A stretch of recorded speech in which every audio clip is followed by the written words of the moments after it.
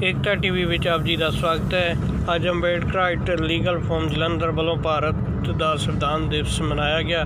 ਇਸ ਵਿੱਚ ਮੁੱਖ ਮਹਿਮਾਨ ਦੇ ਤੌਰ ਤੇ ਪ੍ਰੋਫੈਸਰ ਰਤਨ ਸਿੰਘ, ਪੰਜਾਬ ਯੂਨੀਵਰਸਿਟੀ ਚੰਡੀਗੜ੍ਹ ਔਰ doctor Navjot Kaur, principal helper Khalsa college ਪਹੁੰਚੇ ਔਰ ਉਹਨਾਂ ਨੇ ਆਣ ਕੇ ਅੱਜ ਵਕੀਲਾਂ ਨੂੰ ਸੰਵਿਧਾਨ ਦਿਵਸ ਮੌਕੇ ਸੰਬੋਧਨ ਕੀਤਾ।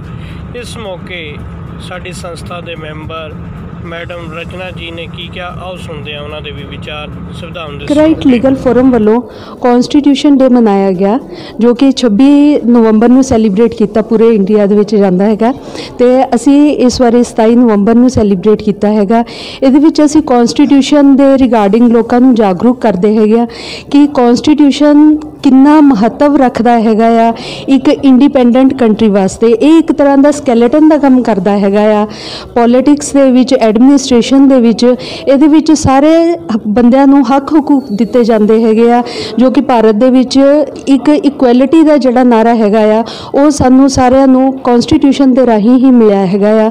ਤੇ ਅਸੀਂ ਸਾਰੇ ਹੀ ਅੰਬੇਡਕਰ ਰਾਈਟ ਲੀਗਲ ਫੋਰਮ ਨੇ ਪਿਛਲੇ ਸਾਲ ਵੀ ਇਹ ਸੈਲੀਬ੍ਰੇਟ ਕੀਤਾ ਹੈਗਾ।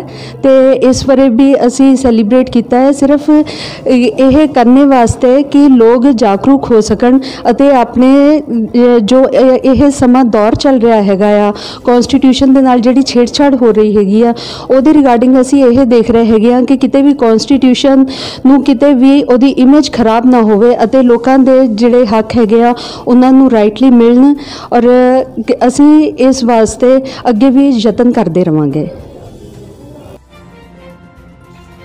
ਤੁਸੀਂ ਵੇਖ ਰਹੇ ਹੋ ਏਕਤਾ ਟੀਵੀ।